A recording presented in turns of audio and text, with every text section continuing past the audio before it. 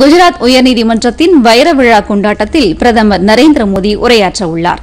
நாளை பகல் மணி பத்து முப்பதுக்கு நடைபெறவுள்ள இந்த நிகழ்ச்சியில் காணொலி மூலம் பிரதமர் உரையாற்றுகிறார். இந்த விழாவை குறிக்கும் விதமாக சிறப்பு அஞ்சல் தலை ஒன்றையும் பிரதமர் வெளியிடுகிறார்.